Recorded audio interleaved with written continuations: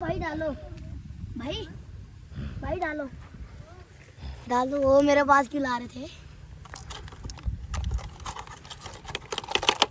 चल ढक्कन